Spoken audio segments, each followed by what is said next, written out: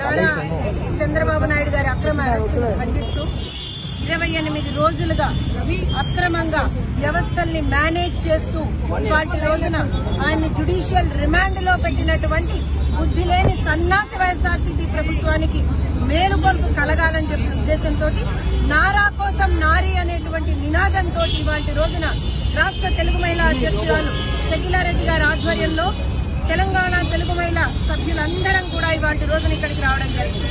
ఎందుకనంటే ఇవాటి రోజున నారా చంద్రబాబు నాయుడు గారి కోసం నారీ లోకం అంతా కూడా కదిలొస్తోంది.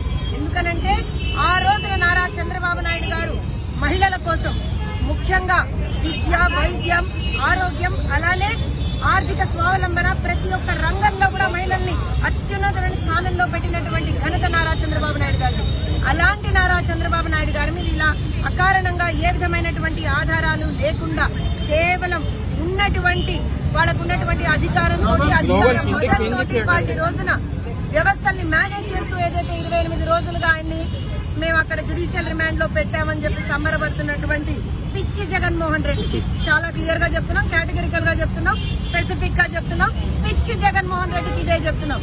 అయ్యా ఇవాళ నారీ లోకం ఒక్కటే కాదు. అక్కడ మీరు చూస్తే యువత కావచ్చు రైతులు కావచ్చు వ్యాపారస్తులు కావచ్చు ప్రజలందరూ కూడా ఇవాళ నారా చంద్రబాబు నాయుడు గారికి సపోర్ట్గా బయటకు వచ్చారు. ఎందుకనంటే అభివృద్ధి అనేటువంటి పదానికి పర్యాయ పదం అభివృద్ధి అంటే నారా చంద్రబాబు నాయుడు గారు. అలాంటి నారా చంద్రబాబు నాయుడు గారి మీద మీరు ఎన్ని కేసులు పెట్టినా ఎంత ఇబ్బంది పెట్టినా ఆయన ఒక శిఖరం. ఆ శిఖరం కాలి గోటికి ఉన్నటువంటి మట్టిని కూడా మీరు తాకలేరు అనేటువంటిది మీరు గుర్తుపెట్టుకోవాలి. ఒకటే చెప్తున్నాం మళ్ళీ చెప్తున్నాం. మీరు గనక వెనువెంటనే ఈ అక్రమ కేసుల్ని వెనువెంటనే తీసేసి నారా చంద్రబాబు నాయుడు గారిని బేషరతుగా విడుదల చేసేంత వరకు కూడా మా పోరాటం ఆగదు.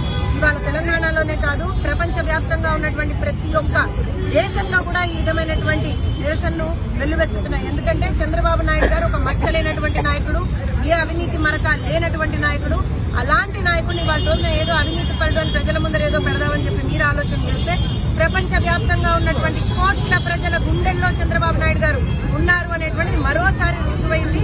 ఒకటే చెప్తున్నాం బిడ్డ తెలంగాణ గడ్డ మించి చెప్తున్నాం. తెలుగు మహిళలుగా చెప్తున్నాం.